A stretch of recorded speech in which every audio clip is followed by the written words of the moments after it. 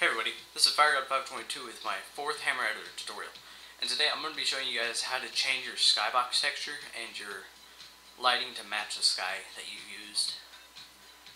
Um, this tutorial is somewhat basic, but if you want to have like a night map or a sunset type map, you want to use the correct type of lighting and the correct sky. Okay, so let's go ahead and go to our Sources SDK and your tools.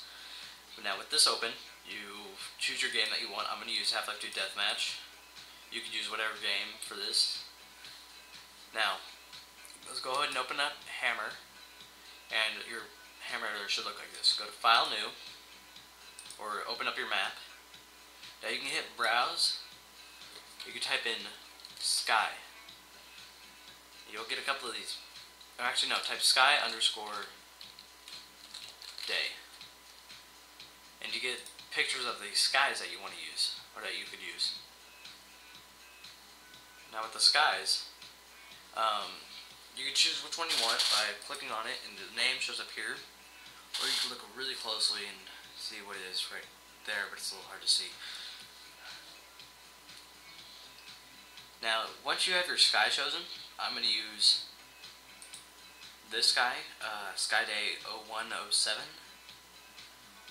for because I want a sunset type map. So I'm just gonna remember that. Close it. Go to map, map properties, Skyday 0107. Hit apply, and you have your sky is gonna look like the one that you see in the picture. I'm just going to go build a real quick map so I can show you guys what this looks like in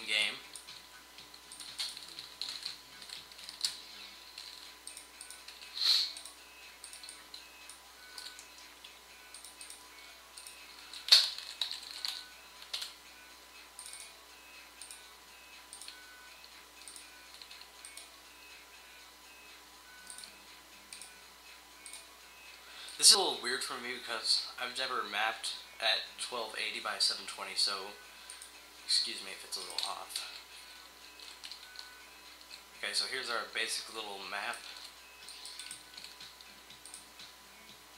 Just gonna make a player spawn. Light environment.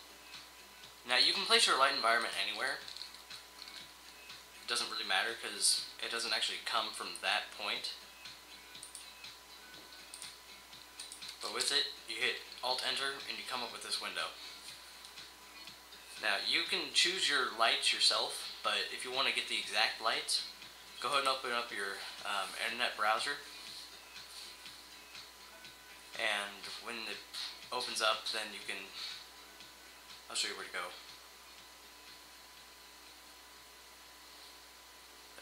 It's a little slow for me because all my CPU is getting used up. Well, my RAM is anyways.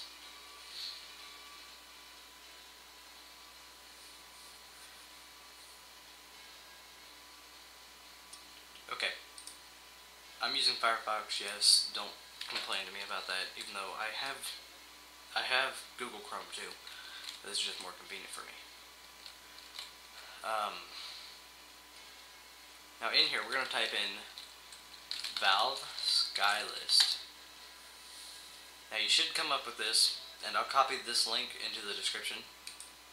You go ahead and open this. You should be able to scroll down and see the skies that you have.